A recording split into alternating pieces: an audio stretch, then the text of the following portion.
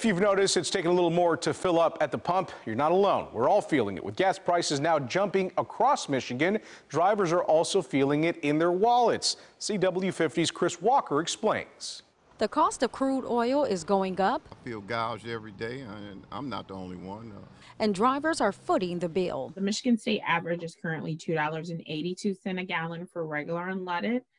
And that's actually down from a 2021 high that we set last Thursday of $2.85 a gallon. AAA Michigan spokesperson Adrienne Woodlands is telling CW50 refineries in Texas took a huge loss during the winter storm and the recovery is sending blowback at the pump. Also, changes on Wall Street drove up cost. A lot of Midwest states saw a spike because stocks were lower. So just the availability of gasoline stocks were lower in the Midwest and it caused prices to go up. According to AAA, the average price in Metro Detroit is $2.83 a gallon, the highest recorded price for unleaded gasoline in two years. Because one of the things we're seeing with crude oil is we saw crude oil go back to prices of where it had been prior to the pandemic.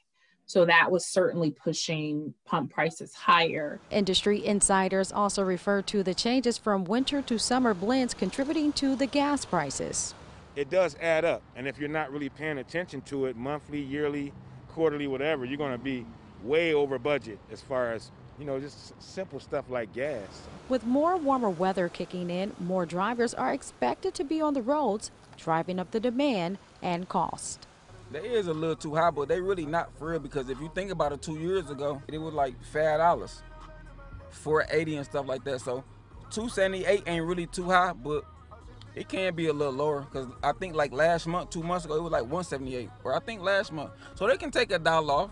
That'll save us some money and give us more miles to travel. Reporting in Detroit, Chris Walker, CW50 News at 10.